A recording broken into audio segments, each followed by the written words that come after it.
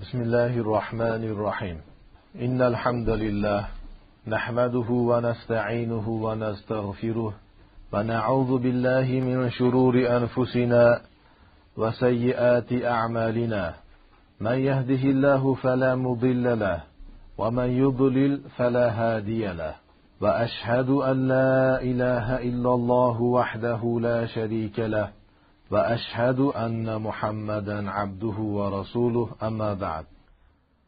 آل إمران سورة 73 آيات. أستعيذ بالله من الشيطان الرجيم. ولا تؤمنوا إلا لمن تبع دينكم. قل إن الهدى هدى الله.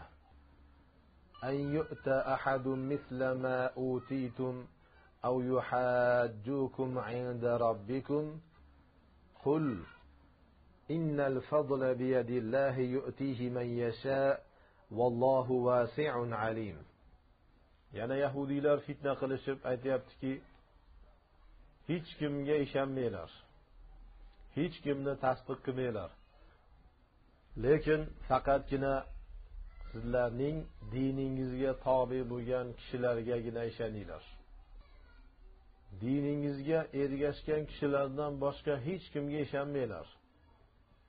Ayting muhammad alayhissalom albatta hidoyat albatta to'g'ri yo'l ollohning yo'lidir. Birortasi sizlar keltirilgan narsaning o'xshashi unga keltirilsa ya'ni berilishligi yoki sizlar bilan robbingizning huzurida hujjatlashishligi ayting muhammad alayhissalom albatta fazilat fazl ollohning qo'lidadir. O'zi xohlaydigan kishilarga uni keltiradi. Va olloh kengdir biluvchidir. Suyuti aytyaptilar vaqolu aydon ular yahudiylar yana aytdilarki suyuti aytyaptilar vaqolu va la tu'minu tusaddiqu. Yana aytdilarki ishonmanglar ya'ni tasdiq qilmanglar. Illa liman tabi'a vafaqa dinakum. Lekin sizlarning diningizga ergashgan muvaffaqat qilgan kishiga ishoninglar. Qola taala alloh taolo aytdiki qullahum ya muhammad. Ey muhammad ularga aytgin innal huda hudalloh. Albatta hidoyat allohning hidoyatidir. Allazi huval islam. Va bu hidoyat shunday bir narsaki u islomdir. Va ma'adahu dalalun. Islomdan boshqa hammasi zalolatdir adashishlikdir va jumlatu i'tirodun. Jumla e'tiroziyadir. Gapning o'rtasida kelyapti. An ay bi an yu'ta ahadun misla ma utitum. Birortasi sizlarga keltirilgan berilgan narsaga o'xshagani unga keltirishligi bilan. Minal kitabi val hikmati val fadoili ya'ni sizlarga keltirilgan narsa nima? Kitob hikmat va fazilatlar. Ya'ni sizlarga alloh tarafidan kitob berildi hikmat berildi. Kitobdan maqsad allohning kitobi hikmatdan maqsad payg'ambarning sunnatlari. Val fadoil va fazilatlar berildi. Sizlardan boshqa hech kimga berilgani yo'q. Va an maf'ulu tu'minu. An bu yerdagi tu'minuning maf'ulidir. Ya'ni yuqorida vala tu'minu dediku. Ya'ni sizlarga berilgan narsaning o'xshashi boshqa birortasiga berilishligiga ishonmanglar degan ma'noda. Hozir buni bir necha tafsirlari bor. Unga to'xtalib o'tamiz. Asyutini ishora qilyapti turganiga shu. Ya'ni yahudiylar aytyaptiki ey yahudiy millati sizlarga allohning kitobi berildi payg'ambarning sunnati berildi va fazilatlar berildi. Bu fazilatlar sizlardan boshqa birortasiga berilishligiga ishonmanglar degan ma'noda aytishyapti. Bu yerda istisno qilyapti turgan narsa ahadundir quddima alayhi al mustasna lekin mustasno muqaddam qilindi. Al ma'na la tuqirru bi anna ahadan yu'ta zalika illa liman ittaba'a dinakum. Ma'no shunday bo'ladiki birortasiga shu narsalar shu fazilatlar berilishligini iqror qilmanglar ishonmanglar tasdiq qilmanglar. Lekin kimda kim sizlarni dinlaringizga ergashsa o'shalarga bo'ladi xolos bu fazilat. Qarang yahudiylar o'zlarini islomdan payg'ambarimiz alayhissalomdan sahobalardan juda baland deb bilishadi أو بأن يحاجوكم أي المؤمنون يغلبوكم عند ربكم yoki mo'minlar robbingizning huzurida sizlar bilan hujjatlashishligi va sizlarga g'olib bo'lishligini iqror qilmanglar ishonmanglar yawmal qiyama qiyomat kunida chunki sizlar din e'tiboridan eng sahihsizlar eng sahihi eng to'g'risi sizlar sizlar aan. Yana bir qiroatda aan bo'lib kelgan. An yuta emasda an yuta. Ya'ni berilishligi bo'lgan bo'lsa bu yerda istifhomga qo'ysangiz bu berilishligi mumkinmi degan ma'noda. Bunda bihamzati tavbihi ya'ni tavbih ya'ni jirkishlash jerkishlik va qo'pollik qattiqlik qilishlik hamlasi bo'ladi. Ay eta vahadin mislahu. Ya'ni birortasiga uning o'xshashi berilishligimi? degan ma'noda. Tuqiruna bihi shuni iqror qilasizlarmi? Shunga ishonasizlarmi? deyapti. Qola taala qul innal fazla biyadillahi yu'tihi man yasha. Ayting muhammad albatta fazl allohning qo'lidadir xohlagan kishilarga uni keltiradi beradi. Famin ayna lakum annahu la yu'ta hadun misla ma utitum. Endi sizlarga berilgan narsaning o'xshashi boshqa birortasiga berilmasligiga sizlarga qayerdan bir dalil kelyapti? Qayerdan aytyapsizlar buni? Vallohu vasi'un. Alloh taolo kengdir, kasirul fadli. Fazli ko'pdir, alimun biluvchidir, biman hu ahluhu. Ya'ni ahli bo'lgan, fazlning ahli kim bo'lgan, shuni biladi Alloh taolo. Xohlaganiga fazil qiladi alloh taolo. Mana bu oyatda alloh taolo yana yahudiylar avvalo mana yahudiylarning sahobalarga qilgan fitnasi payg'ambarimiz alayhissalomga qilgan fitnasi to'g'risida xabar beryapti. Shunday bir yaramaslik qilishgan edi shunday bir katta xiyonat qilishgan edi payg'ambarimiz alayhissalom ularga imkon berganligini sababi sulh qilingan edi. O'rtada sulh bor. Ikkala qavm ikkala millatni o'rtasida sulh tuzilganligi uchun payg'ambarimiz alayhissalom ularga indamaydi. Ular bemalol kelib ketib aralashib yurishadi. Qarang sulh qilishgan payg'ambarimizga so'z berishgan bir birimizga zarar bermaymiz deb. Ammo qilyapti turgan ishlarni qarang. Xiyonatni hamma turini qilishyapti. Eng katta fitnalarni qilishyapti. Agar boshida sulh tuzilmaganda edi payg'ambarimiz alayhissalom ularni albatta yaqinlashtirmas edi kelisholmas edi. Bunchalik fitna qilisholmas edi. Kazzoblik qilib ikki yuzlilik qilib mana shunday xiyonatlarni qilishyapti. Yahudiylar ba'zilari ba'zilariga yoki domlalari avomlariga aytyaptiki sizlarning diningizga ergashganlardan boshqa hech kimga ishonmanglar. Kim yahudiy bo'lsa yahudiylikni qabul qilsa shunga ishoninglar boshqa hech kimga ishonmanglar deyishyapti. Bu oyat shular to'g'risida nozil bo'ldi.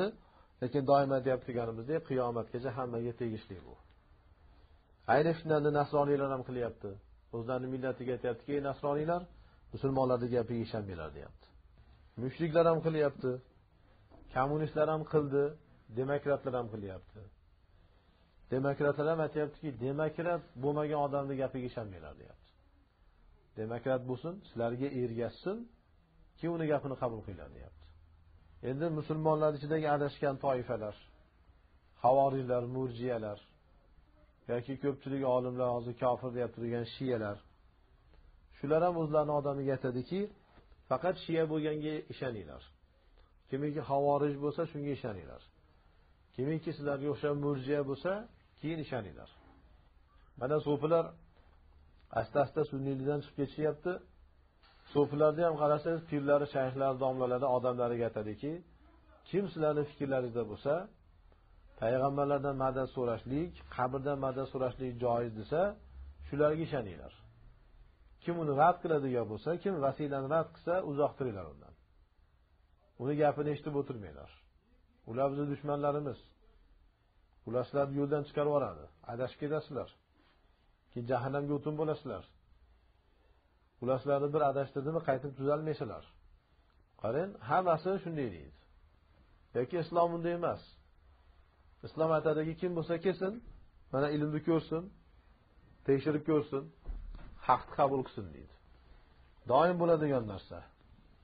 Qiyomatgacha dinga xizmat qilyapti turgan insonlarga mana shu fitna bo'ladi. Bu bizga ham bo'ladi bizdan keyingilarga ham bo'ladi.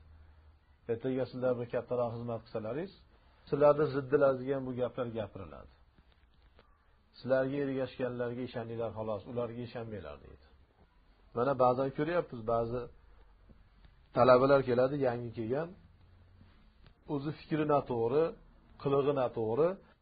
Lekin bizga jo'natgan vaqtda aytishganki ulardan ilm o'qinglar ilm o'rganinglar ammo ularni gapini qabul qilmanglar.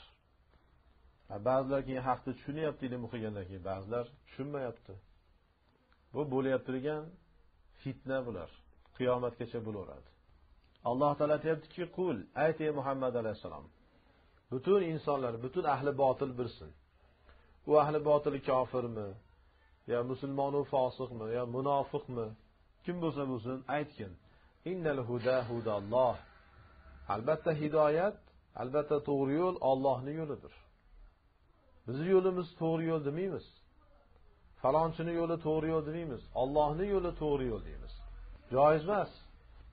Shaxslarga qarab turib bo'linishlik joiz emas. Biz qur'oni hadisga ko'ra aytishligimiz kerak. To'g'ri yo'l ollohni yo'lidir. Boshqa yo'llar hammasi botil hammasi zalolatdir jaholatdir. Biz o'rtamizda mana bunday bir ilmiy muzokara qilishligimiz kerak. Nasroniylikka yahudiylikka yoki sufilikka yoki falon jamoatga piston jamoatga emas. Da'vatchilikka mujohidchilikka madrasachilikka bunday emas. Tariqatchilikka siyosatchilikka bunday emas. Biz uni ollohni yo'liga chaqirishligimiz kerak. Ollohni yo'liga kelinglar. Ayting muhammad alayhissalom albatta hidoyat to'g'ri yo'l ollohni yo'lidir. Aniq bu narsa. Hamma ollohni yo'liga chaqirsin ollohni yo'liga to'plansin shular hammasi bitadi. An yu'ta ahadun misla ma utitum sizlarga berilgan narsaning misli boshqa birortasiga berilishligi yoki sizlar bilan robbingizning huzurida hujjatlashishligi tortishishligi bu nima degani? Birinchi ma'nosi suyuti aytganlaridek yahudiylarning gapini davomiki ey yahudiy millati sizlarga mana tavrot berildi tavrotga o'xshagan kitob hech kimga berilmaydi. Sizlarga muso alayhissalomning sunnatlari berildi. Bu sunnatga o'xshagan narsa hech kimga berilmaydi. Sizlarga fazilatlar berildi masalan fir'avnni g'arq qildi alloh taolo. Dengizni ochdi. Osmondan tayyor man va salvo yog'di. Toshdan alloh taolo buloqlarni chiqardi. Va boshqa boshqa butun fazilatlarni sanashyapti. Biz eng fazilatli millatmiz eng oliy irqmiz eng afzal ummatmiz eng afzal insonlarmiz darajalari eng baland bo'lgan mo'minlarmiz sizlarga keltirilgan narsaga o'xshagan narsalar hech kimga keltirilmaydi hech kimga berilmaydi. Mumkin emas.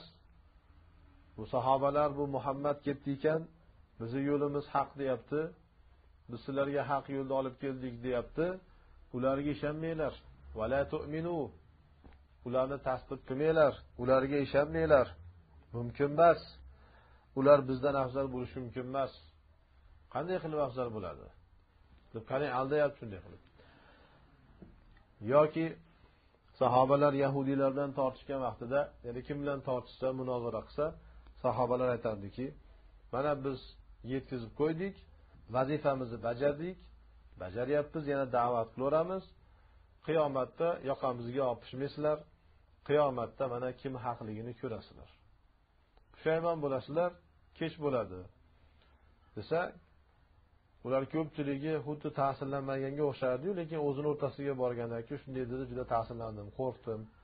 Haqiqatdan ham ular haq bo'lsa qiyomatda tortishsa ollohni huzurida sharmanda bo'lsak nima bo'ladi desa domlalar aytyaptiki yo'q. Robbingizni huzurida ular sizlar bilan hujjatlashligidan qo'rqmanglar ishonmanglar tasdiq qilmanglar. Ular dunyoda ham oxiratda ham sizlarga g'olib bo'lolmaydi ular baribir mag'lub.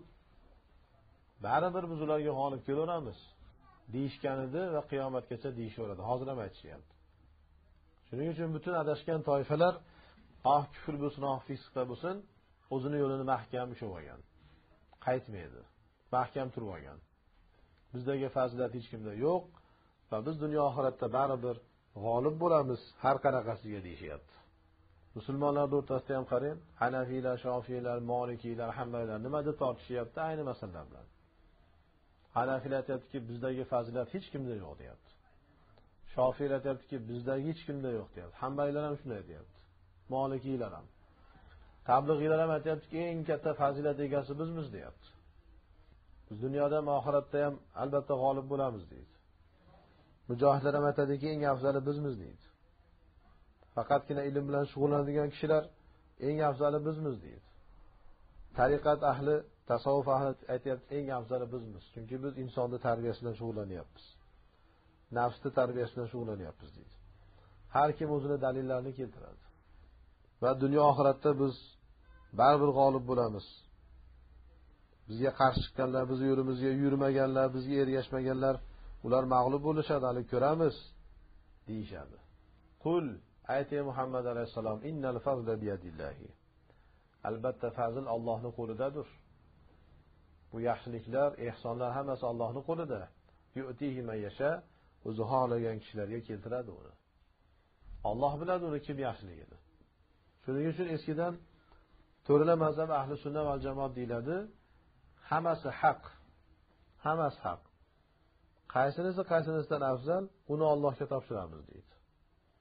Lekin to'ralasi ham haq deydi. Qarang eng to'g'ri eng adolatli baho mana shu. Lekin hozirgi yillar unday emasku. Hanafiylar aytadi biz haqmiz qolgan uchala mazhab botil. Hatto boshqa dindek ko'rishadi. Qarang musulmonlarni o'rtasiga bunchalik yomon holatlar kirdi. Aslida bu narsalar bizni o'rtamizda emas. Ichimizda emas biz bilan kofirlarning o'rtasida bo'lishlik kerak bu oyatlar shundan xabar beryapti mo'minlar bunday holatga tushmaslik kerak edi. Ammo tushyapti ming afsuslar bo'lsin.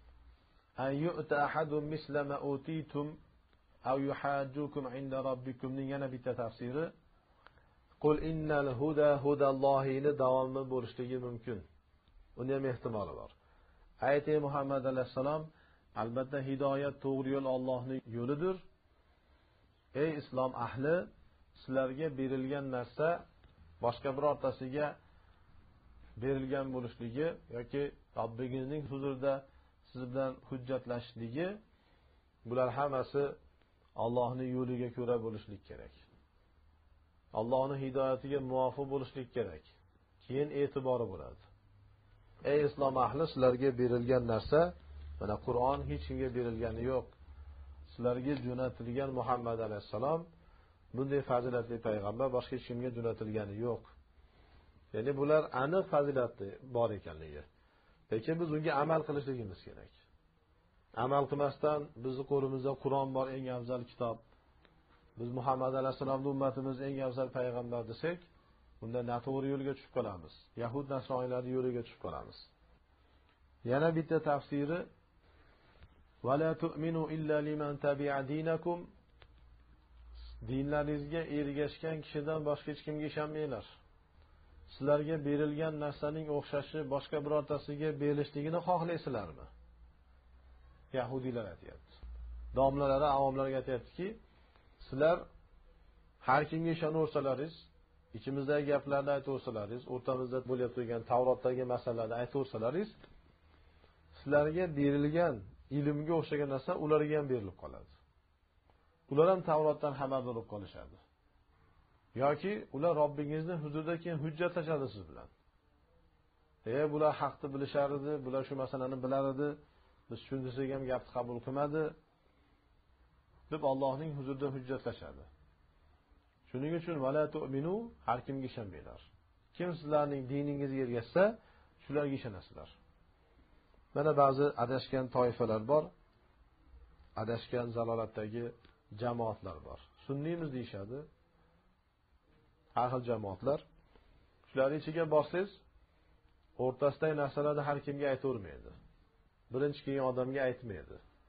O'zlarining fazilati deb hisoblagan narsalarni ham. Masalan ba'zi sufilar jamoati bor. Jamoatga borib qo'shilishsa aytadiki biz qur'on hadisdan tashqariga chiqmaymiz. Qur'on hadis nima desa shu imomlar nima desa shu deydi. Keyin sekin yaqinlashgan sari ularni imtihonlardan o'tsangiz aytadiki sen bizni shayximiz rasmini ko'tarib yurishliging kerak. Har namozdan keyin u rasmga qarab ko'zingni yumib keyin shayxni tasavvur qilishliging kerak. Qanday holatda bo'lsa ham tasavvur qilib yurgin deydi. O'tirgan holatda ham tikka turgan holatda ham to'xtaganda ham yurganda ham. Har qanday holatda shu shayxni pirni tasavvur qilishliging kerak. Hatto namozda ham ko'zingni o'ngida turishlik kerak. Bo'lmasam sen iymon sohibi bo'lolmaysan. Bitta ham amalingni alloh taolo qabul qilmaydi deyishadi. Buni o'sha biroz ularni imtihonlardan o'tganingizdan keyin ularga ishonishni boshlaganingizdan keyin aytishadi birdaniga aytmaydi. Bu ham shunga o'xshagan. Yahudiylar aytyaptiki bu narsalarni har kimga aytavermanglar deyapti. Sira bilib qolishadi va hujjatlashishadi ular. Ulamolar aytadiki olimron surasidagi eng qiyin oyat mana shu oyat. Qarang qul innal huda hudallohi deb keyin ayyuta ahadun deb davom etib ketyapti. Va davomida aytilindiki qul innal fazla biyadillah. Aytginki fazl ehson yaxshiliklar hammasi allohni qo'lidadir mislama utitum degan gaplarni gapirmanglar. Sizlardagi bor yaxshilik ular ham ularga ham o'tib qolmasin. Sizlardagi yaxshilikni ular ham ololmasin demanglar. Yaxshilik olloh tarafidan beriladi. Qarang. Biz agar bizga yaxshiliklar ne'matlar berilishligini xohlasak ollohdan so'raylik. Boshqalarni qo'lidagi yaxshiliklar uchun hasad qilmaylik. Olloh beradi buni.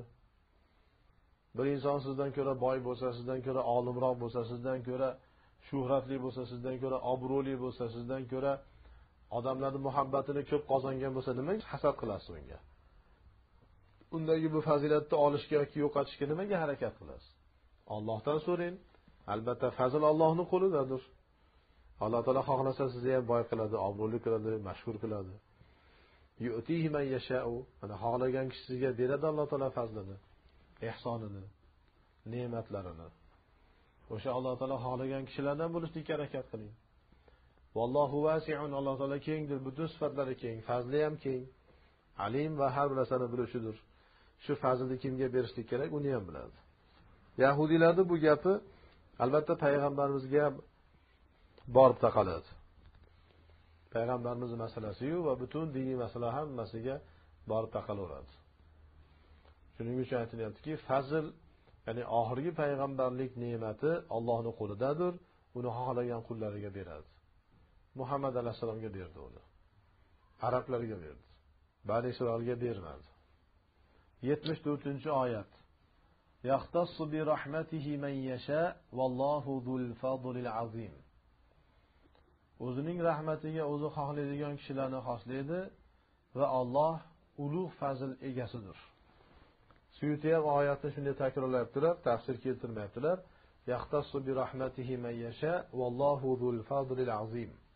Chunki yuqorida o'tdi bu masalalar. Hozir yuqoridagi butun oyatlarga o'xshab ikkita tafsirdan bittasiga dalolat qiladi. Va uchinchisi esa ikkalasini ham o'zini ichiga oladigani birinchisi bu oyat o'sha vaqtdagi yahudiylarning sahobalarga qilyapti turgan hasadlariyu bizdagi bor yaxshilik ularga ham o'tib qolmasin deyap turgan narsasini rad qilib alloh taolo aytyaptiki alloh taolo o'zini rahmatini o'zi xohlaydigan kishilarga xoslaydi. Sizlar bunday baxillik qilmanglar hasad qilmanglar. Alloh taolo sahobalarga yaxshilik xohladimi? Shularga xoslab beraveradi. Hech kim buni o'zgartirolmaydi qarshi chiqolmaydi alloh taolo ulug' fazl egasidir. Allohni fazli kattadir. Bu bir. Ikkinchisi esa umumiy tafsir. Butun masalalarda islomdagilar bilan kufrdagilarning o'rtasida kofirlarning butun turlari yahudiylar nasroiylar mushriklar majusiylar kommunistlar demokratlar. Ular agar mo'minlardagi fazilatga mo'minlarga bo'layotib turgan allohning rahmatiga hasad qilyapti turgan bo'lsa baxillik qilyapti turgan bo'lsa bilib qo'ysinki alloh taolo rahmatini o'zi xohlagan kishilarga xoslaydi. Qarang bu fazil ehson hammaga berilavermaydi. Ba'zilarga xoslanib beriladi. Va alloh taolo ulug' fazil egasidir. Allohni fazli nihoyatda kattadir. Bu birinchi masala bo'lsa ikkinchi masala iymonni davo qilganlarning o'rtasida ham mana ko'ryapmiz musulmonlar ham hadeb bir biriga hasad qilib baxillik qilib bir biridagi yaxshiliklarni ko'risholmayapti. Shularni ham rad qilinyaptiki alloh taolo o'zini rahmatini o'zi xohlaydigan kishilarga xoslaydi. Musulmonlar ham o'rtalarida bir biriga hasad qilmasin baxillik qilmasin. Allohni fazli kattadir ollohdan so'ranglar. Alloh taolo boshqalarga bergandek sizga ham beradi. Alloh taolo har narsaga qodir. Yetmish beshinchi oyat. ومن أهل الكتاب من إن تأمنه بقنطار يؤديه إليك ومنهم من إن تأمنه بدينار لا يؤديه إليك إلا ما دمت إليه قائما ذلك بأنهم قالوا ليس علينا في الأميين سبيل ويقولون على الله الكذب وهم يعلمون va ahli kitobdan yahud va nasroniylarning ichidan xususan bu oyat yahudiylar to'g'risida nozil bo'lyapti yahudiylarni ichida shunday kishilar borki unga qintorni qintor yuqorida o'tdi bir necha qovullar bor lekin hamma qovullarni tafsirlarni o'zini ichiga oladigan eng yaxshi tafsir shuki katta mol qintor qintorni omonat qilib bersang shuni senga ado qiladi. Va ularning ichida yahudiylarni ichida shunday kishilar borki bir dinorni omonat qilib bersang uni senga ado qilmaydi. Bermaydi omonatni. Lekin uning ustida qoyim holatda bo'lsang modomiki qoyim bo'lsang ustida tursang unda berishi mumkin. Bu narsa ular ummiylar to'g'risida bizni zimmamizda birorta narsa mavjud emas bir gunoh yo'q deganliklari sabablidir. Bizni ustimizda bizni zararimizga ummiylar to'g'risida hech qanday yo'l yo'q deganliklari sabablidir. O'zlari bilib turishib alloh taologa yolg'onni nisbat berib aytadilar. Suyuti aytyaptilar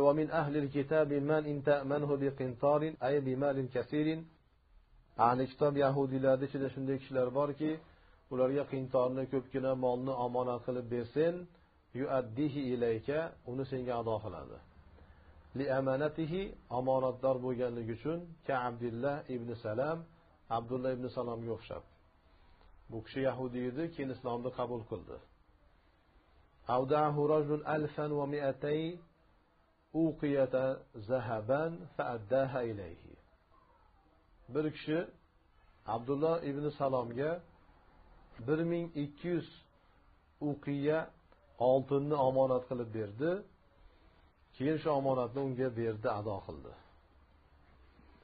ومنهم من إن تأمنه بدينار لا يؤديه إليك لخيانته va yahudiylarning ichida shunday kishilar borki unga bir dinorni omonat qilib bersang uni senga ado qilmaydi Qoyim bo'lganligi uchun lekin o'sha odamning ustida omonat berganning ustida modomiki qoyim bo'lsang doim tursang keyin beradi. La tufariquhu hech undan ajrashmasang shunda beradi famata faraqtahu ankarahu. Undan ajrashdingmi uzoqlashdingmi inkor qiladi bermaydi. Ka kab ibn ashraf kab ibn ashrafga o'xshab istavdaahu qurayshiyun dinaran fajahadahu. Qurayshlik bir arab kab bin ashrafga bir dinorni qarang bir dinor arzimagan bir oltin. Shuni omonat qilib beruvdi inkor qildi keyin.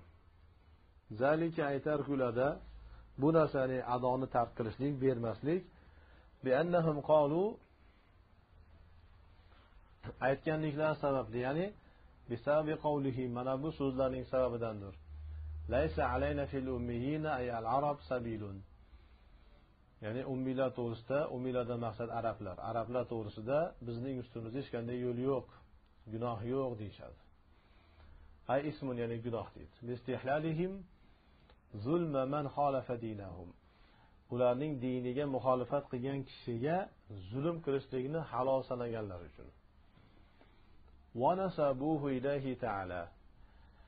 Va bu botil hukmni alloh taologa nisbat berishdi.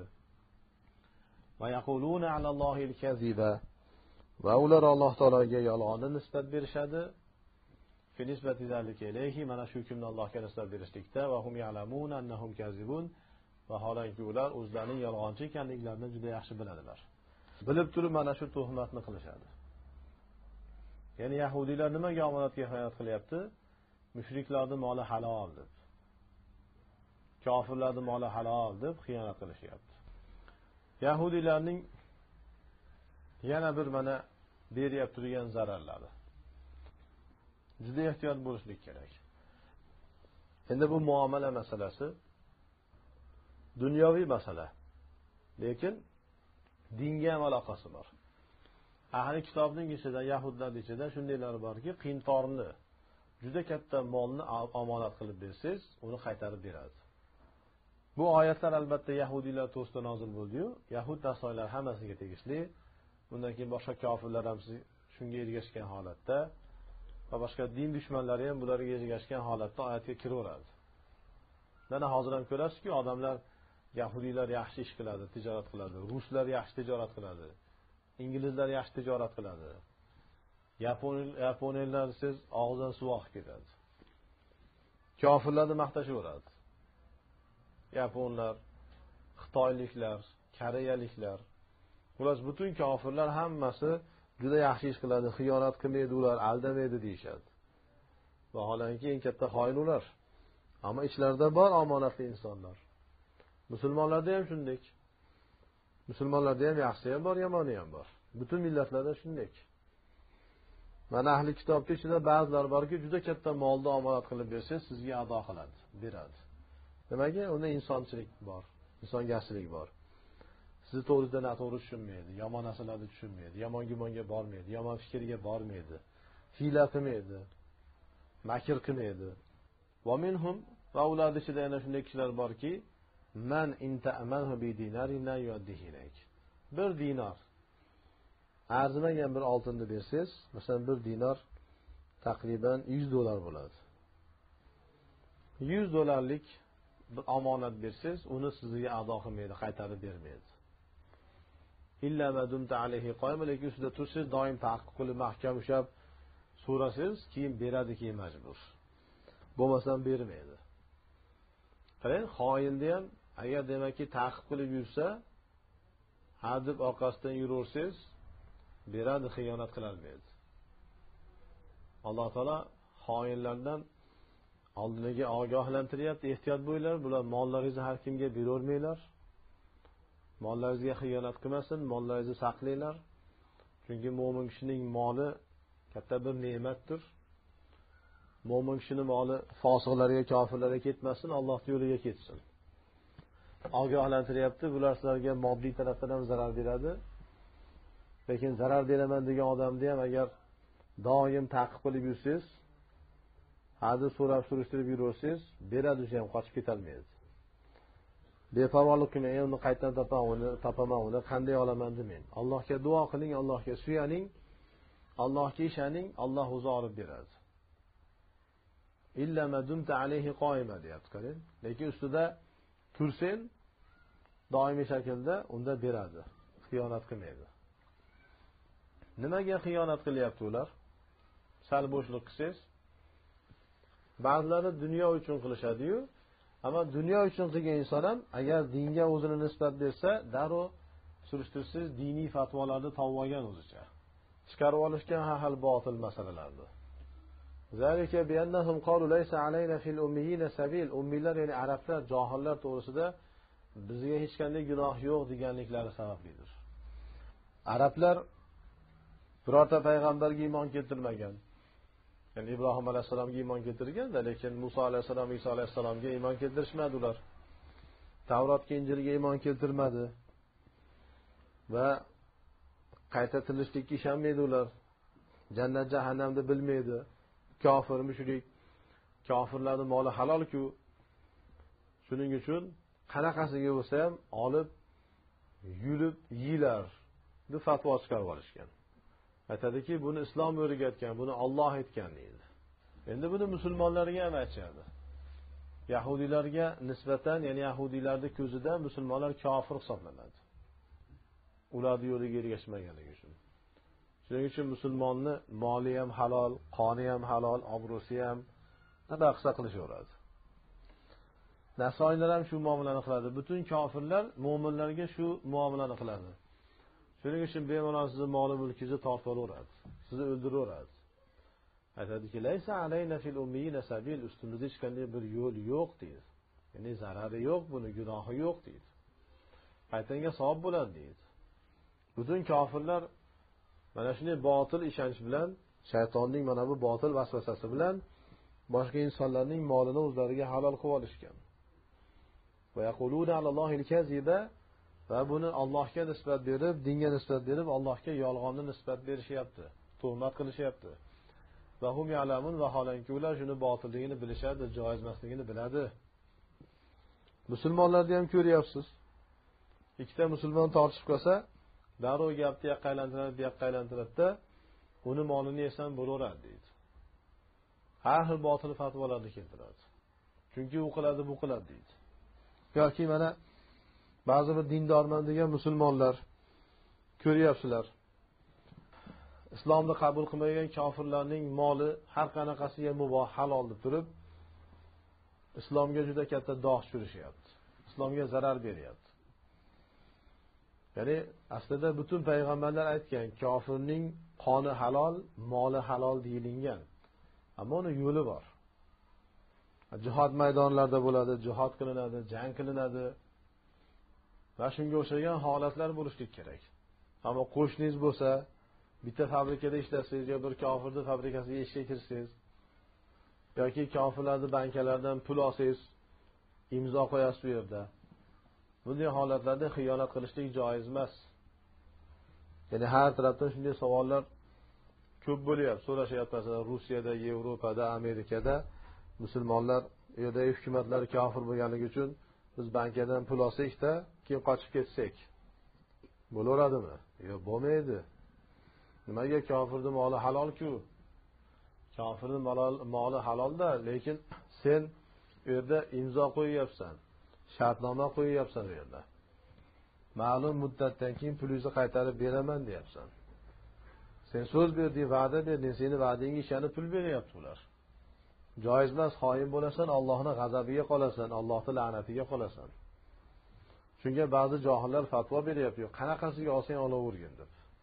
Shuning uchun ba'zi musulmonlar johillik qilishib shu botil aqidadan kelib chiqib bir boy kofirga yaqinlashyapti unga xizmatkor bo'lib xizmatchi bo'lib ishchi bo'lib sho'pir bo'lib yaqinlashyaptida butun sirlarni o'rgangandan keyin yo biror narsasini o'g'irlab ketyapti yoki peshonasiga pistolet tirab yoki bo'yniga pichoq tirab besh o'nta odam qo'rqitib pullarni olib ketishyapti. Yoki doim qo'shnisi bo'lib shirin gaplashib yurgan kofir bir qarasa anaq ichgan bo'lsa yoki kasal bo'lsa inqillayotgan bo'lsa besh o'n kishi yopishib unga talon taroj qilib ketishyapti.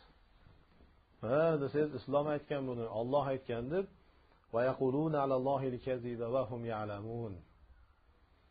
botilligini bilib turishib allohga yolg'onni nisbat berishyapti.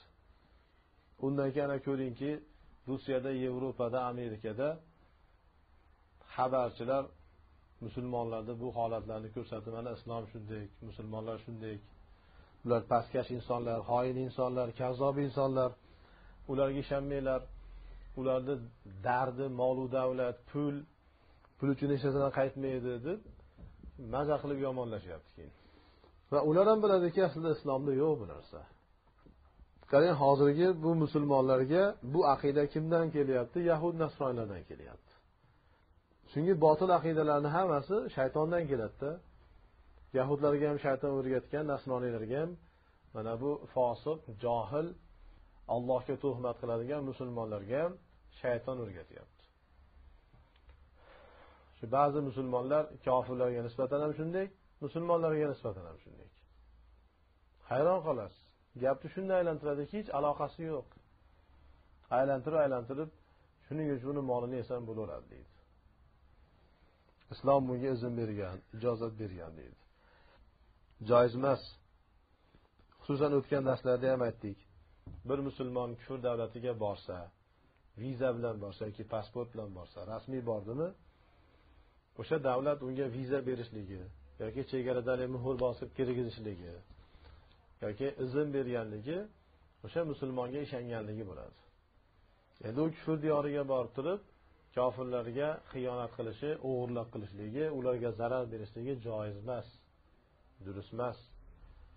Bu kofirlarga emas alloh va rasuliga xiyonat qilgan bo'ladi. Allohni la'natiga qoladi. Qattiq gunoh bu. Katta gunohkor bo'ladi.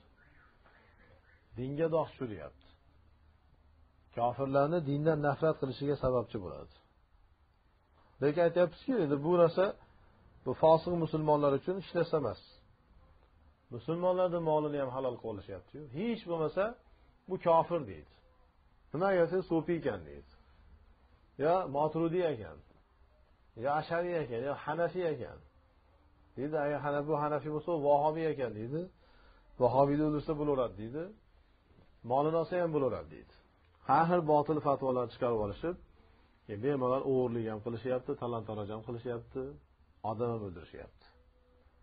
tuhmat qilishyapti alloh taologa dinga bog'lashyapti buni yetmish oltinchi oyat بلى من أوفى بعهده واتقى فإن الله يحب المتقين yo'q unday emas kimda kim ollohning ahdiga vafo qilsa va taqvo qilsa albatta alloh taolo taqvodorlarni yaxshi ko'radi suyuti aytyaptilar bala alayhim fihi sabilun yo'q unday emas ular ustiga yo'l bor ya'ni gunoh bor Yahudiler etmesinki kafirlerdir, malı neyse bulurlardı. Yok günah bulardı. Men avfa bi ahdihi kimiki ahdiga vafo qilsa allazi ahada alayhi ya'ni ahd qilgan ahdiga vafo qilsa qarang odatda hali bankadan pul olyapsiz yoki bir kofirdan omonat olyapsiz ahdlashyapsiz u yerda beraman deyapsiz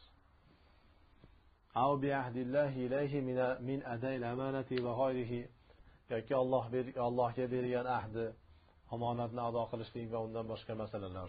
Xiyonat qilmaslik kazzoblik qilmaslik pastkashlik qilmaslik bu narsalar to'g'risida allohga ahd bergan shu ahdiga vafo qilsa vattaqo alloha bitarkil maasi ma'siyatlar gunohlarni tark qilib allohdan taqvo qilsa va amila toat va toat ibodatlarga amal qilsa dinga amal qilsa albatta alloh taolo taqvodorlarni yaxshi ko'radi. Taqvo ahlini yaxshi ko'radi. Fihi zohir al muzmar bu yerda ham mana muzmarni yeriga zaminni o'rniga ismi zohirni qo'yishlik bor. Yuhibbuhum deyish kerak edi lekin yuhibbul muttaqin deyapti. Shu muttaqinlarning fazilatini bildirishlik uchun. Ya'ni ularni yaxshi ko'radi hum zamir bo'lishi kerak edi. Ya'ni ularga savob beradi degan ma'noda. Yuqorida aytdik yuhibbuhumni yusibuhum deb tavil qilyaptiki ya'ni alloh taoloni muhabbati qanday bo'ladi insonni muhabbatiga o'xshaganmi degan noto'g'ri fikrlar kelmasin deb. Tavil masalasini aytdik. Alloh taoloning muhabbat sifati boshqa savob berishlik sifati boshqa. Ularni aralashtirmaslik kerak. Lekin alloh taolo yaxshi ko'radi yaxshi ko'rganiga savob beradi mukofot beradi ne'mat beradi deb izohlasangiz bo'laveradi. Alloh taolo mana rad qilyapti. Yahudiylar va ularga ergashgan nasroniy bo'lsin yoki musulmon bo'lsin halolni o'zlariga halol qilib olgan bo'lsa shularga bala deyapti. Yo'q unday emas. Noto'g'ri. Nimaga? Kim aytdi sizlarga gunoh bo'lmaydi deb? Man avfa bi ahdihi kimiki ahdiga vafo qilsa sen ahd berding. Shuning uchun bir inson senga ishonyapti molini beryapti. Yoki uyiga qo'yyapti seni. Yoki vataniga kirishingga izn beryapti. Shahariga borishingga izn beryapti. Nimaga ahd beryapsan sen? So'z beryapsan va'da beryapsan. O'sha bergan ahdingga vafo qilsang vattaqo va taqvo qilsa taqvo qilsang deyapti. Demak qulga bergan ahdimizga ham allohga bergan ahdimizga vafo qilsak va allohdan qo'rqsak shunda albatta alloh taolo muttaqinlarni yaxshi ko'radi. Ya'ni siz muttaqin bo'lgan bo'lasiz. Ahdiga vafo qilsangiz qo'rqsangiz muttaqi bo'lasiz va muttaqiylarni olloh yaxshi ko'radi. Alloh sizni yaxshi ko'rdimi dunyo va oxirat ne'matini hammasini beradi. Allohning do'sti bo'lib qolasiz. Butun maxluqlar sizni yaxshi ko'rib qoladi. Mana hammaga tegishli bu. Yahudlardan boshlab musulmonlarni fosiqlarigacha hammaga tegishli. Alloh subhanahu va taolo qur'onni sahobalardek o'rganib amal qilishlik baxtini saodatini muyassar qilsin.